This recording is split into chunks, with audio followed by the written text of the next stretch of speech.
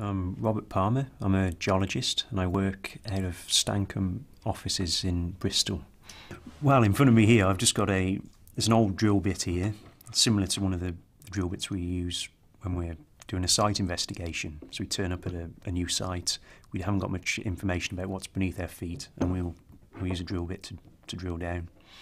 Um, we can also produce cores using a different drill bit, and we'll produce hundreds of meters of cores if necessary, and then we'll use these cores to look at the type of rock that's there, and we'll look at any faults within the rock and any problems with its quality. And then from that, we'll go on and design a quarry, come up with a reserve estimate.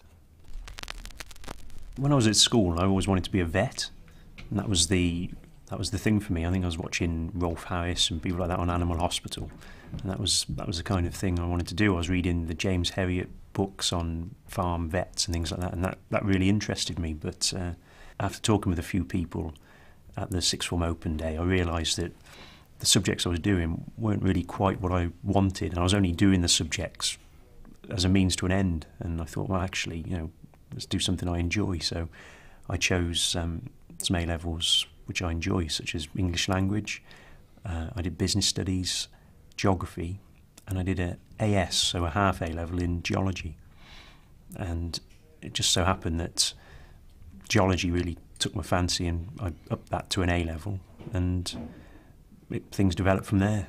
And I chose geology really because I had this genuine interest and passion for it, which stemmed from, I think, I, I, my dad does building work and landscaping and gardening, things like that. And I used to visit a lot of quarries and sand and gravel pits to collect materials. And I was always interested to know, you know, where did this material actually come from? You know, how did it come from the out of the ground? You know, we just saw the the, the sales side of it, but I was always intrigued as to how they managed the quarry and things like that. And I also had an interest in, like most young kids do, dinosaurs. You know, always picking up bits of rock. So it was more of a it was a combination of the two, really, a passion for the subject, but also an interest in how we could actually benefit from it.